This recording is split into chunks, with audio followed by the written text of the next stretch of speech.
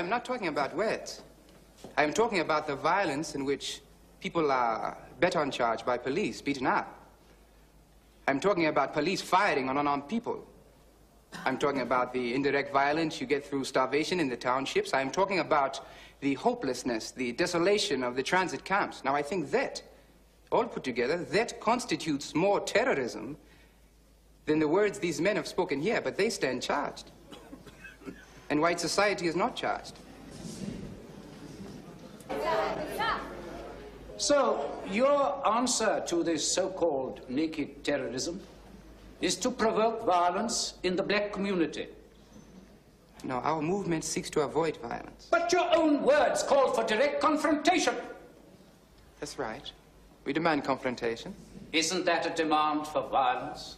Well, you and I are now in confrontation, but I see no violence. But nowhere in these documents do you say that the white government is doing anything good? Well, it does so little good, my lord, that it is not worth commenting on.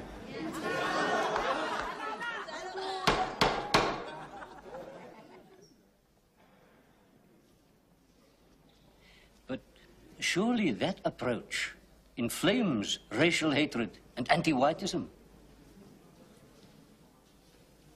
My lord, blacks are not unaware of the hardships they endure or what the government is doing to them.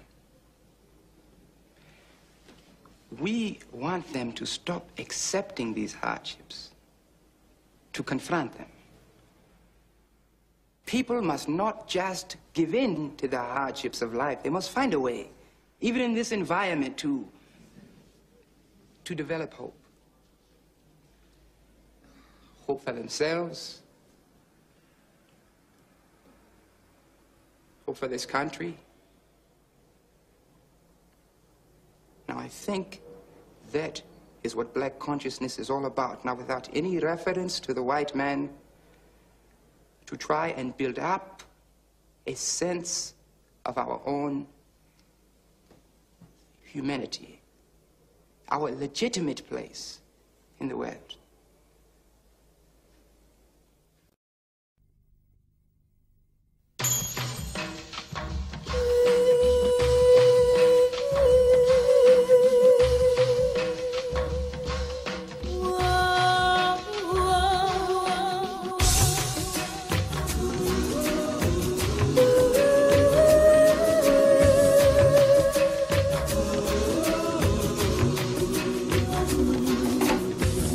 Sometimes alone in the evening, I look outside my window at the shadows in the night.